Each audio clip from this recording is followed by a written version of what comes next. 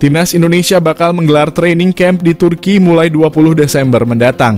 Rencananya tim Garuda akan membawa 30 pemain untuk melakukan persiapan jelang Piala Asia 2023. Timnas Indonesia harus melupakan hasil mengecewakan kalah di markas Irak dan imbang di Filipina pada putaran kedua kualifikasi Piala Dunia 2026 zona Asia.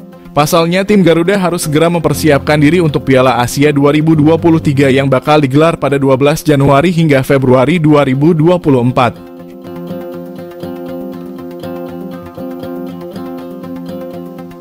Indonesia berada di grup D bersama dua tim mantan juara, Jepang dan Irak plus satu bebuyutan di ASEAN, Vietnam. Bukan grup yang mudah pastinya. Namun, PSSI menargetkan tim Garuda bisa menembus 16 besar.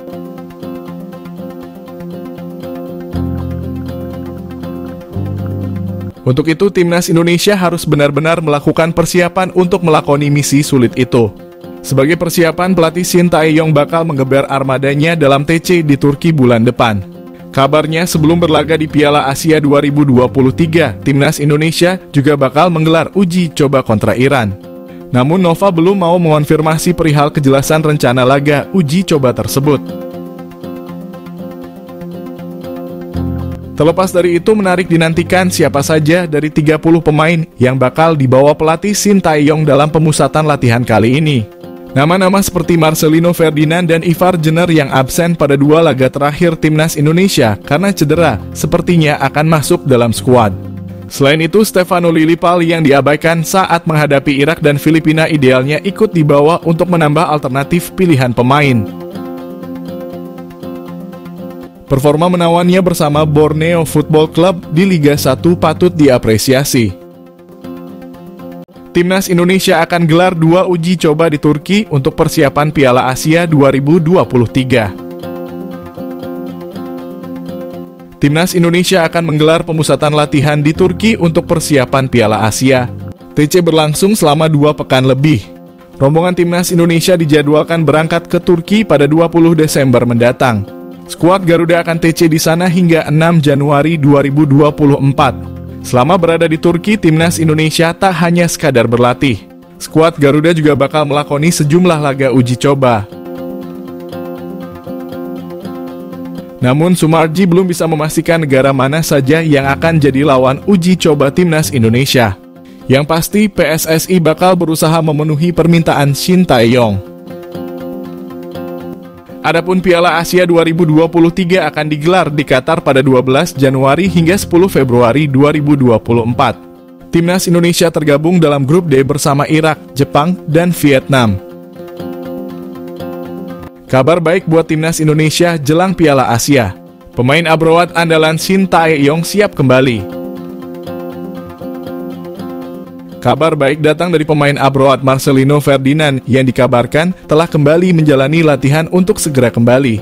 Tentu saja ini jadi kabar menyenangkan buat timnas Indonesia. Seperti diketahui, Marcelino Ferdinand menjadi salah satu pemain andalan timnas Indonesia dari kelompok usia hingga senior. Akan tetapi sebelumnya ia harus absen membela timnas Indonesia dalam laga kualifikasi Piala Dunia zona Asia karena cedera. Ia memang datang ke Indonesia akan tetapi Marcelino Ferdinand tak bisa bermain bersama skuad Garuda. Hal ini karena Shin Taeyong memilih menepikan Marcelino Ferdinand yang masih dibalut cedera. Marcelino pun fokus menjalani pemulihan dengan klubnya KMS Kadeinze. Setelah menjalani pemulihan cukup lama akhirnya ada kabar bagus. Marcelino dikabarkan sudah mulai menjalani latihan untuk bisa segera kembali bersama rekan-rekannya. Kali ini Marcelino sudah bisa menjalani latihan normal untuk bisa segera kembali bergabung dengan tim. Tentu saja latihan ini dilakukan agar ia bisa segera mengejar kondisi para pemain lain. Sebab selama ini Marcelino hanya fokus latihan pada pemulihan otot saja. Akan tetapi saat ini ia mulai menjalani latihan normal untuk bisa segera kembali.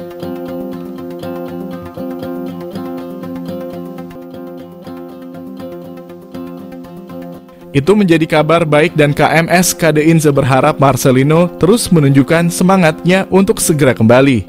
Tentu saja penjelasan ini menjadi kabar baik buat tim asuhan Shin Tae-yong. sebab timnas Indonesia akan segera menghadapi Piala Asia. Untuk itu, Shin Taeyong pasti membutuhkan pemain terbaiknya. Marcelino merupakan salah satu pemain langganan Shin Taeyong, untuk itu ini sangat bagus. Untuk itu dengan membaiknya Marcelino Ferdinand ini akan menambah kekuatan timnas Indonesia.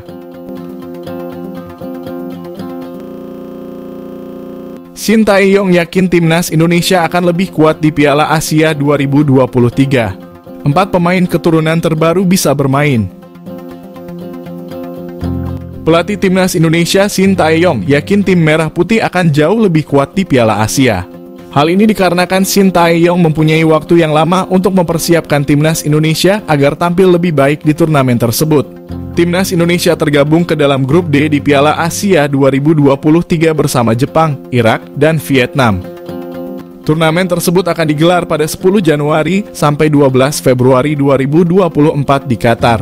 Sebelum tampil di Piala Asia, Shin Tae-yong akan menggelar pemusatan latihan yang dilakukan pada 20 Desember mendatang. Shin Tae-yong bisa mengumpulkan pemain-pemain terbaiknya karena Liga 1 dihentikan sementara waktu.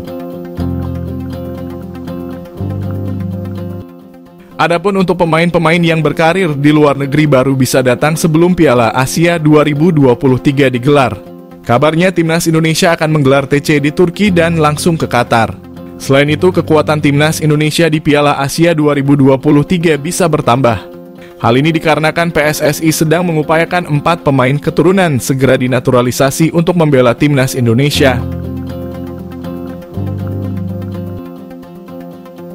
Proses naturalisasi keempat pemain itu diharapkan bisa segera rampung dan membela timnas Indonesia di Piala Asia 2023. Tidak hanya itu, timnas Indonesia bisa diperkuat Marcelino Ferdinand dan Ivar Jenner. Kedua pemain itu sebelumnya absen membela timnas Indonesia melawan Irak dan Filipina pada laga grup F kualifikasi Piala Dunia Zona Asia karena cedera.